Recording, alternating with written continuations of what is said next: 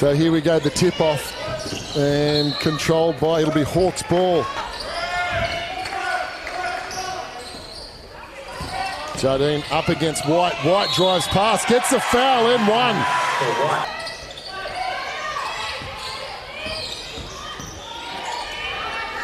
That's a nice shot. Yeah.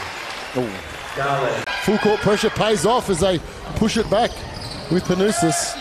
And we'll see an open three on the other side of the court. It goes down. In the back court here, lots of pressure, gets it across. Nice open look there. Yeah, nice open look, confident shot. Panousis had on the boards was her own teammate.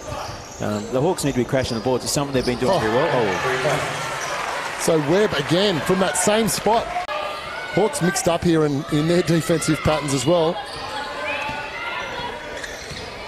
Panousis kicks it out. Webb again. Three out of three.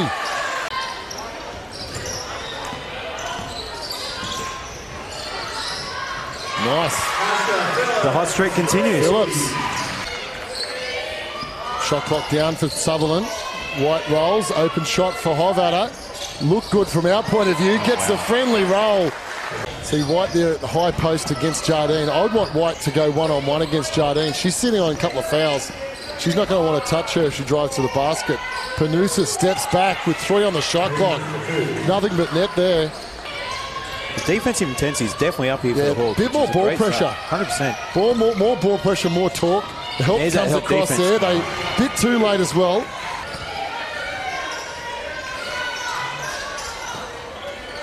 Jardine, kick across. McDonald open three.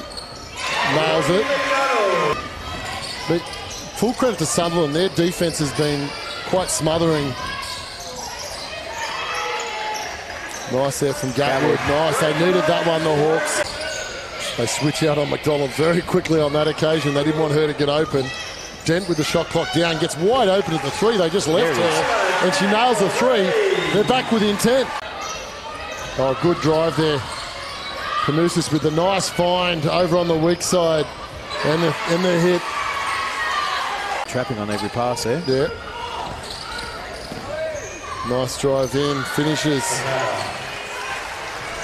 Not a great finish for Sutherland, but they won't care too much about that.